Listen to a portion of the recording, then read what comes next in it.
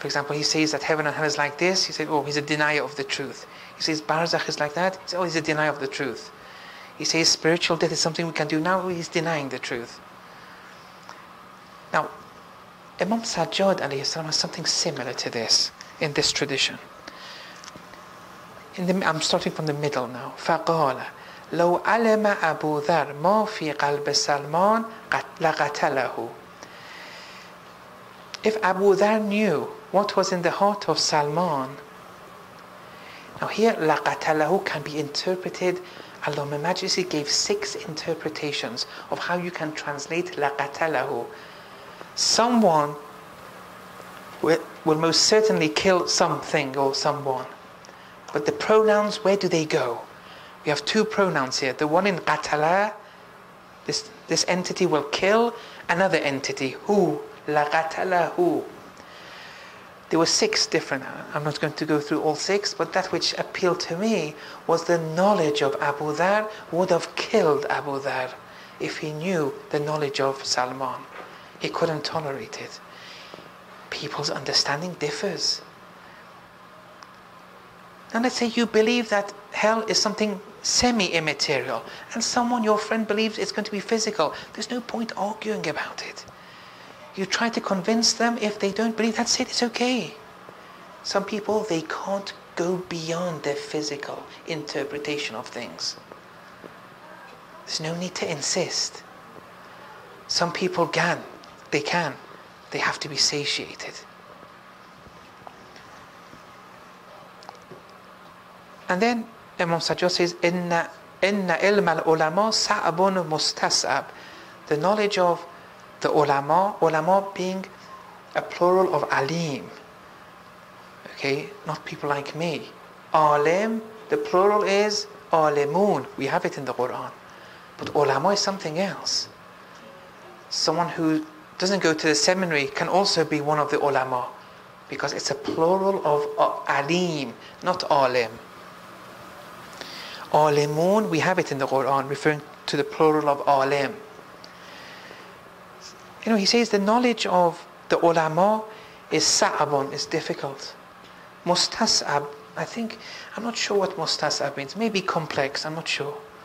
La yahtamiluhu illa malakun muqarrab. No one can bear the knowledge of the ulama save the archangels O Nabiyun Mursal, the messengers of Allah, O Abdun Mu'min, Imtahan Allah qalbahu lil iman.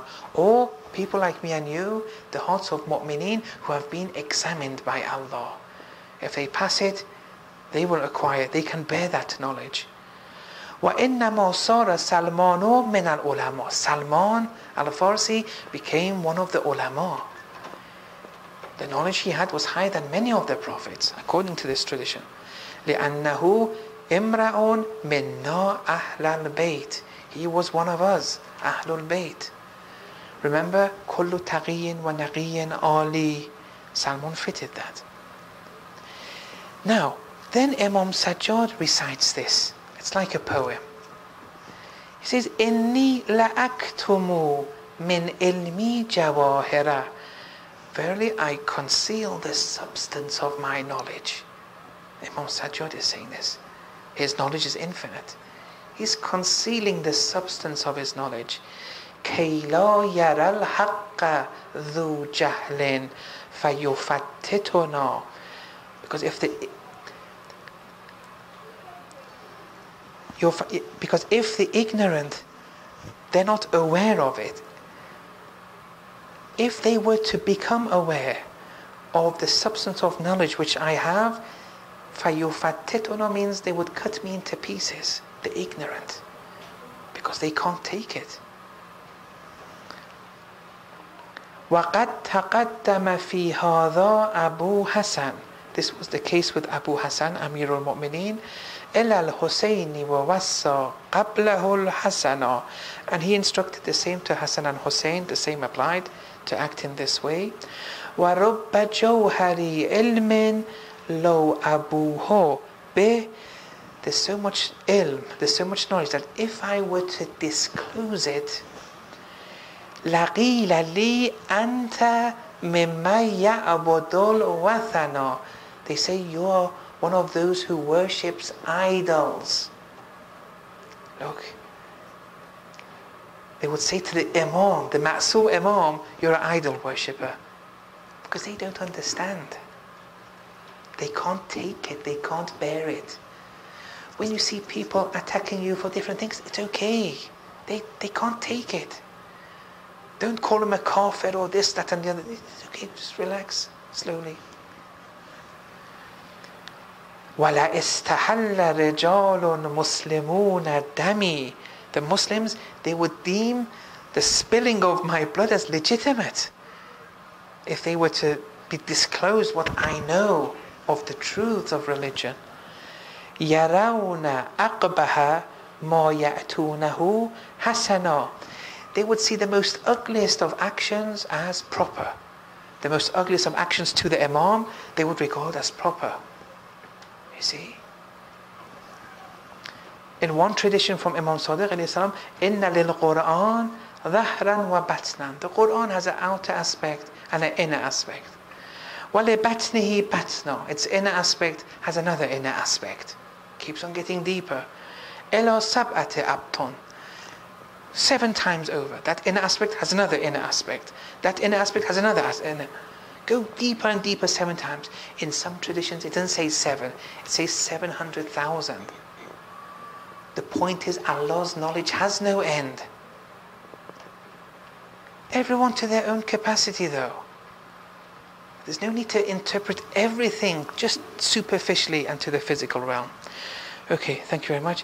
Inshallah, now I'll just quickly go through dhikr musibat and inshallah we'll finish there.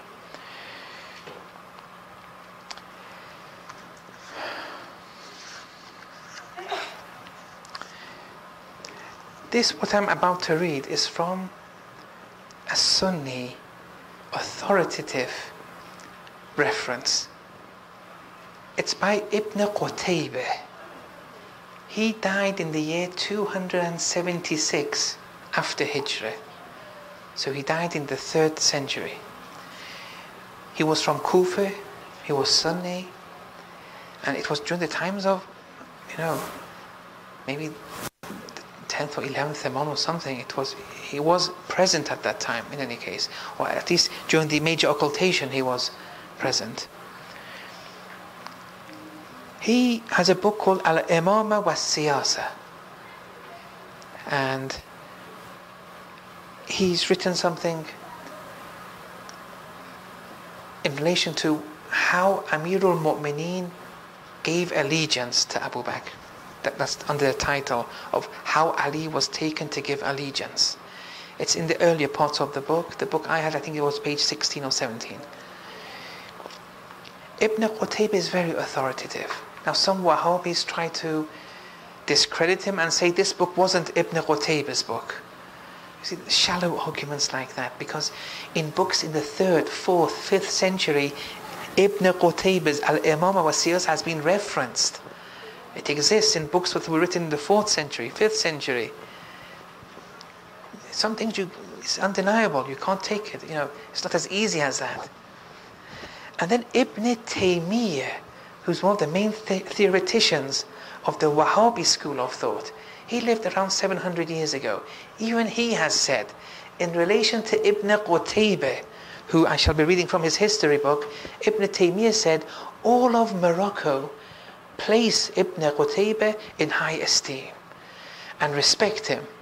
And whoever is at odds with him is deemed as zindiq and kafir. And they, the Moroccans, say, كل بيت ليس فيه شيء من تصنيفه لا خير فيه. The Moroccans say, whichever household doesn't have one of Ibn Qutaybah's works in the house, that house has no blessing in it. So he's an authoritative figure in the Sunni world. Now, I want to read exactly what he's written. And I'll, I'll read the Arabic and translate it at the same time. My translation may not be the most accurate, but I've done my best and I'm not saying anything, you know, totally against what the text is saying. There may be a few mistranslations here or there, but they're not significant. But I want to read exactly, I want to be loyal to the text. Okay, so don't attack me for saying things in the text. This is what he is saying. وإن أبا بكر رضي الله عنه تفقد قوما تخلفوا عن بيعته عند علي كرم الله وجهه So Abu Bakr was after those who hadn't paid allegiance to him those people who hadn't paid allegiance to Abu Bakr, who were in the house of Ali. May Allah dignify Ali's face. The Sunnis use this cloth, Karramallahu wajha. Why do they use this clothes with Amirul Mu'mineen?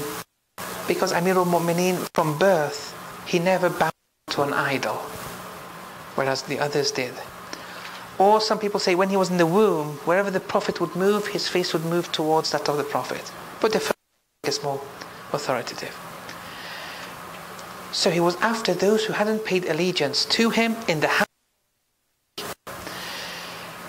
فبعث إليهم Omar. So he sent Omar to them who were in the house of Amir al-Mu'minin. فجاء he went فناداهم وهم في دار Ali. Omar called out loud whilst they were in the house of Amir al-Mu'minin. أَيَخْرَجُوا And those people who were in the house of Ali, they refused to come out. فَدَّعَوْا بِالْحَتَبِ Omar then requested wood. wood. وقال and he said والذي نفس عمر in whose hands Omar's life lies you will most certainly get out. أو or I shall most certainly burn the house with those in it. فقيل له Now Omar was accompanied with some people. One of them had a conscience. It was said to Omar, Ya Abu Hafs. Abu Hafs was one of the titles given to Omar, father of Hafs. Inna fiha Fatima. But Fatima is in that house.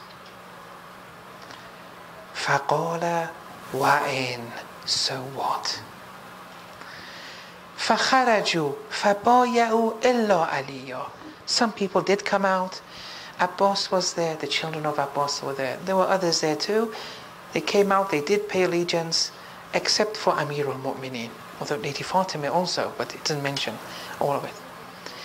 Amir al-Mu'mineen then said, حلفت أن لا أخرج ولا أضع ثوبي على آتقي حتى أجمع القرآن.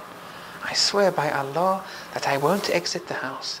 I won't put the cloak on my shoulders, metaphor, a metaphor for exiting the house, until I compile the Quran. The Holy Prophet had ordered him to compile the Quran in a different, in a chronological order. The Quran we have now isn't in the chronological order. The Holy Prophet asked him to compile it in the chronological order and to give a certain commentary to the verses.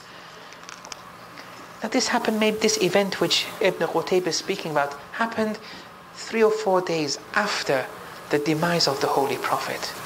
What happened in those two or three days after, I'll speak about that according to the Sunni references tomorrow, inshallah. So he said, I'm not going to come out, this is around, around day four, until I compile the Quran. فوقفت فاطمة رضي الله عنها على بابها فقالت Lady Fatima then stood at the door and said لا أهد لي بقوم حضروا أسوأ مهدر منكم I've never seen a worse presence than what I'm seeing in you people here.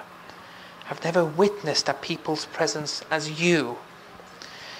Taraktum Rasul Allah janazatan baina aydina. You abandoned the body, the corpse of the Holy Prophet in our hands.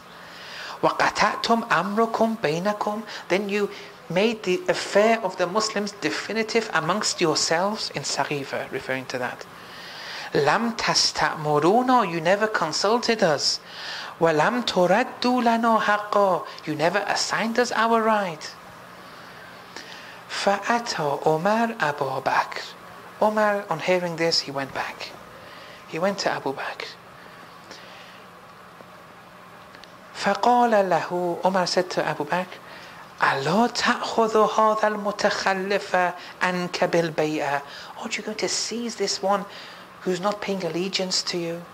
Aren't you going to seize upon him?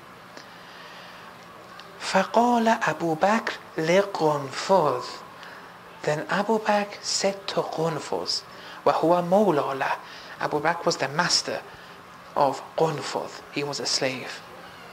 I mean, those days slavery existed when Islam came. But Islam did everything to get rid of slavery. Slavery in that part of the world became extinct much earlier than in this part of the world because of Islam. So Abu Bakr said to Qunfuz, اذهب فادعلي عليا Go and bring Ali, call Ali, Amir al-Mu'min before me. قال no sorry فذهب إلى علي Qunfuz went to Ali Amir al-Mu'minin فقال له ما حاجتك Amir al-Mu'minin said to Qunfuz what do you want فقال Qunfuz said يدعوك خليفة رسول الله the successor of the holy messenger referring to Abu Bakr is summoning you فقال علي Amir al-Mu'minin then said, لَسَرِيءٌ مَا كَذِبْتُمْ عَلَى رَسُولِ اللَّهِ How soon you've attributed falsehood to the Holy Messenger. فَرَجَعَ Qunfuz returned. فَأَبْلَغَ الرِّسَالَةِ He conveyed the message to Abu Bakr. فَبَكَى Abu Bakr تَوِيلًا Abu Bakr cried a lot.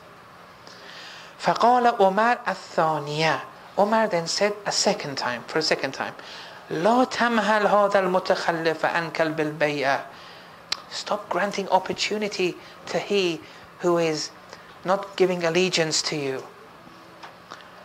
فقال أبو بكر لقنفذ Then Abu Bakr said to Qunfuz, Ud ilay, return to Ali, فقل له and tell him خليفة رسول الله يدعوك لتبايع that the successor of the Holy Messenger is summoning you to pay allegiance to him. فجاءه قنفذ قنفذ went to Amir al-Mu'mineen فأدى ما أمر به he accomplished what he was ordered to do فرفع علي صوته Ali raised his voice فقال and said سبحان الله لقد ادعى ما ليس له سبحان الله they're claiming something which isn't theirs. فرجع قنفذ فأبلغ الرسالة قنفذ returned again conveyed the message فبكى أبو بكر طويلا Abu Bakr cried a lot again ثم قام عمر Umar stood up after this second time فمشى معه جماعة and he went towards the house with a group of people حتى أتوا باب فاطمة until they reached the door of Fatima. Maybe the house of Ali had two doors. فَدَقُوا الْبَابِ They hit on the door. فَلَمَّا سَمِعَتْ أَصْوَاتِهِمْ When Lady Fatima heard the commotion they were causing, the sounds they were making, that Lady Fatima cried out بأعلى صوتها with her highest voice يا أبتي Ya Rasulallah, O my father, O Messenger of Allah, ماذا لقينا بعدك من ابن الخطاب وابن أبي قحافة What has come to us? What are we encountering after you from the first and second? فلما سمع القوم صوتها وبكاءها When the people there were listening and hearing her cries and her voice in Sarafu, Bakin, the people who were accompanying Omar, they left crying. This was Lady Fatima salam. She looked like the Holy Prophet. She spoke like the Holy Prophet. Only a few days has passed. Many of them left the scene crying. وَكَادَتْ قُلُوبُهُمْ تَنْسَدِرْ Look at this is Sunni reference. It was as, as if their hearts were cut into pieces. تَنْسَدِرْ وَأَكْبَادُهُمْ تَنْفَتِرْ It was as if their, their livers were exploding. وَبَغْيَ Omar But Omar stayed there. وَمَعَهُ قَوْمٌ With him there were some people. فَأَخْرَجُوا عَلِيًّا فَمَذُوا بِهِ إلى Abi Bakr. And they brought Ali out of the house and took him to Abi Bakr. And we thank Ibn Qutayba for this honesty and loyalty, but this taking Ali out of the house, it's a bit more complex than that. So here we go to Sunni references very briefly. ثم نادى عمر this is a Sunni now أمين الإسلام تبرسيز الاحتجاج ثم نادى عمر بأعلى صوته حتى أسمع عليا Then Omar shouted out loud with the top, on the top of his voice so that Ali will hear. لَتَخْرُجَنَّ You will most certainly get out. وَالْتُبَايَعَنَّ خَلِيفَةَ رَسُولِ اللَّهِ And you will most certainly pay allegiance to the successor of the Holy Prophet, referring to Abu Bakr. Or otherwise, لَأَدْرَمَنَّ عَلَيْكَ بَيْتَكَ نَارًا I will most certainly burn the house down with fire. ثم رجع Umar then left.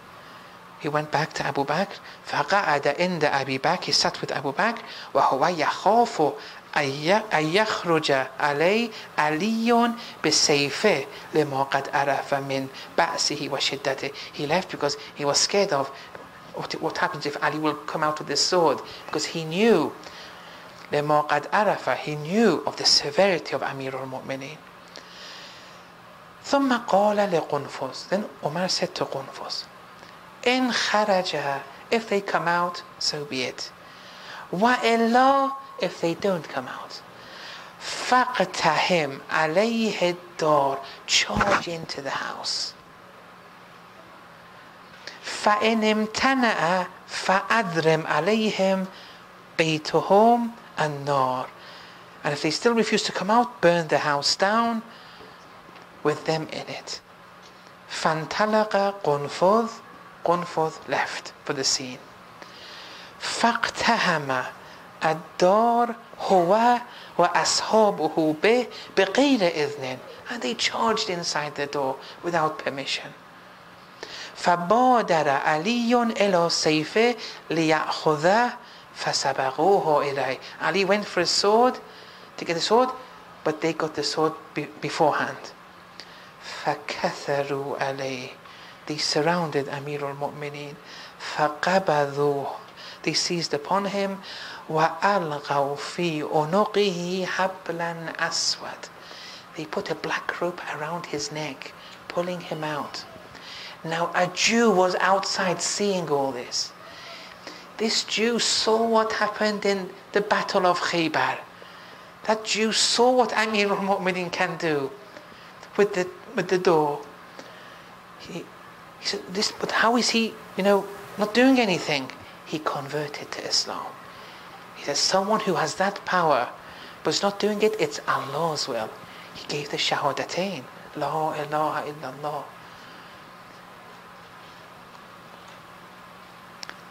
وألقوا في عنقه حبلا أسود وحالت فاطمة بين زوجها وبينهم عند باب البيت Lady Fatima now, defender of Wilaya, came in between her husband and the rest, those people, at the door of the house.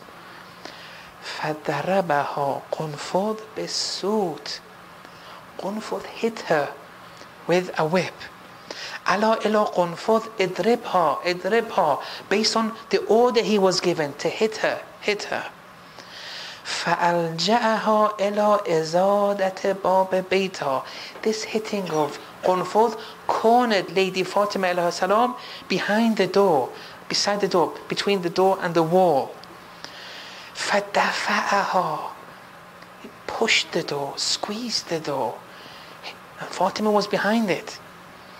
فكسر ضلعا من جنبها a rib on the side of her chest broke وألقت جنينا من بطنها the fetus inside her womb was aborted فلم تزل صاحبة فراش حتى ماتت من ذلك شهيدا and ever since that she was under care in the house until she became a shaheed in death ألا لعنة الله على القوم الظالمين